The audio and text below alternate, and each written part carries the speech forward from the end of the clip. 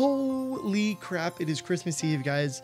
And I cannot express my excitement that it is Christmas Eve. Uh, and I had to share it with you, with you guys in its entirety.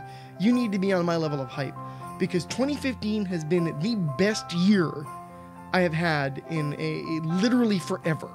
Literally forever. It's been one of the best years of my life. And I owe it in large part to to being able to do YouTube and and having any amount of success at all, which is is entirely tiny to most people, to anybody. It means nothing, but to me it means literally the entire world. You guys are the best people on planet Earth, and you have helped make 2015 such an amazing year. We've done a lot of things. We had a charity event. We've had more fun. The channel has in fact grown, even if a little bit. It's still growing, and that means the world to me.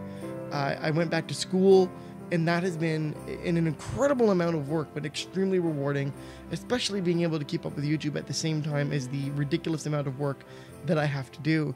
It, it, i'm i'm floored by how well i've been able to actually maintain having both lives and, and making things work at the same time because it's it's difficult to juggle. There there are many a night where i'm up to the very wee hours of the morning doing stuff and i wouldn't trade it for the world.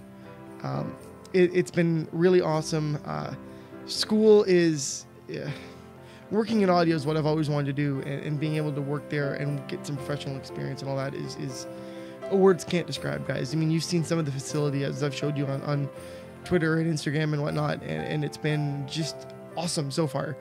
Uh, I owe it to all of my friends there for for making this first semester freaking amazing, and of course, again to you guys, my fans and my friends and family. From me to you, happy holidays, Merry Christmas, Happy Hanukkah, Kwanzaa, whatever it is that you celebrate. Festivus for the rest of us. Thank you.